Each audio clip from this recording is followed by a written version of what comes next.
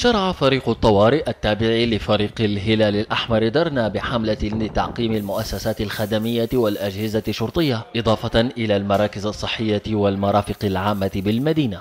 نشكر جمعية الهلال الأحمر على المجهودات اللي قاموا بها في مدينة درنا بخصوص المؤسسات الصحية والخدمية والشرطية.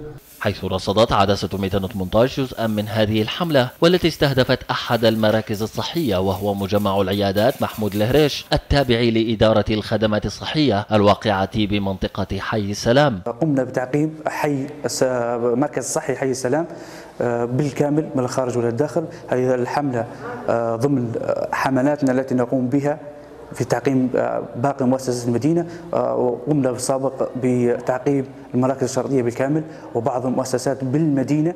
شكر خاص للهلال الأحمر بفرع درنا على المجهودات اللي قاموا به تمام في في كافة أنحاء درنا بالكامل وخاصة في وحدات مجمع آه، محمود الهريش. ويأتي هذا ضمن إطار الاستجابة السريعة لجمعية الهلال الأحمر ومن ضمن خطة التوعية واتخاذ كافة الإجراءات الاحترازية للحد من خطر الإصابة بفيروس كورونا.